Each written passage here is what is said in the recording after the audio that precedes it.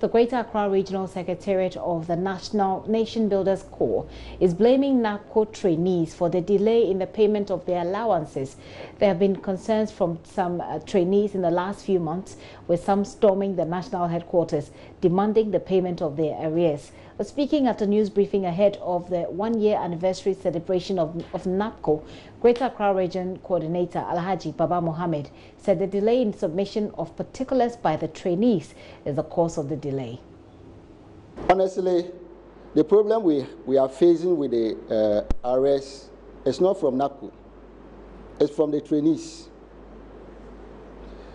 And to us, you are supposed to submit your timesheets by the close of day 23rd of each month. Some of them decide to wait by 28th. Then they submit these timesheets. By then, we finish with validation. And it means that when you are not validated, you can never be paid. And that is what is happening.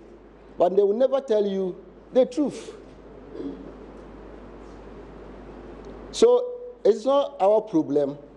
And the system is such that when you validate against a trainee this month, the subsequent month, the files that will come, the trainee's name will not be uh, found on it. You can't find the, the name of the trainee in that first batch.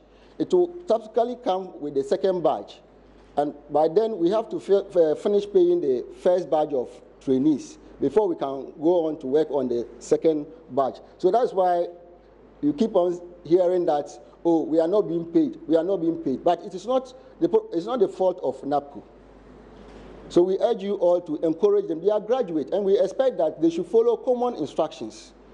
Some of them are asked to go on go into the portal and update their details. They will receive uh, this the SMS alert. They ignore them. And you see, we are working with electronic systems now. And if you are asked to do uh, asked to update your details on your portal, you refuse. It means that your, your, your, your, your details on the, uh, on the on our database will be affected. Because there is a reason why we ask you to go onto the portal to update your, your, your, your details.